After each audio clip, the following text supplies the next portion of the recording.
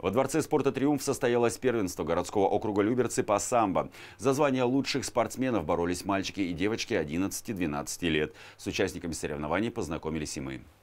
На борцовский ковер готовятся выйти более 80 человек. Это небольшая часть детей, которая занимается самбо в городском округе Люберцы. На сегодняшний день этот вид единоборства объединяет около 2000 юных спортсменов. Популярен он по многим причинам.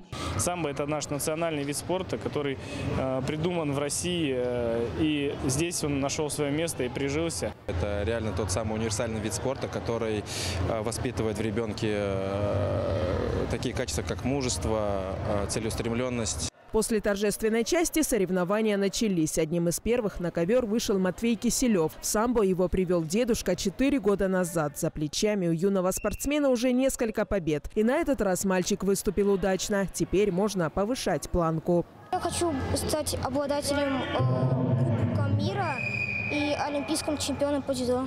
Спортсмены боролись за призовые места в 12 весовых категориях. Удачное выступление на первенстве – путевка на областной этап соревнований, который пройдет в Реутове. Возможно, кому-то из этих ребят выпадет честь представлять Люберцы и на всероссийских турнирах. Это тот этап, на котором мы должны понять, насколько дети готовы к тому, чтобы сражаться на более серьезном уровне. Чтобы подготовить детей к таким выступлениям, Федерация самбо городского округа Люберцы откроет в сентябре два новых зала. В планах у спортивного сообщества вырастить как много больше будущих чемпионов. Луиза Игиазарян, Сергей Гвоздев, телеканал ЛРТ.